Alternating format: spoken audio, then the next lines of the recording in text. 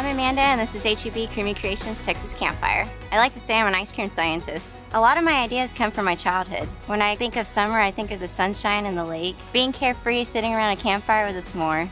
I like the crunchy and the smooth. You get that amazing chocolate ice cream, a graham swirl, a peanut butter cup, and then you get the soft marshmallow pieces. It had to be Texas Campfire. HEB brand products are made to be Texas favorites, so you can make the most of every Lone Star summer. HEB Creamy Creations Texas Campfire.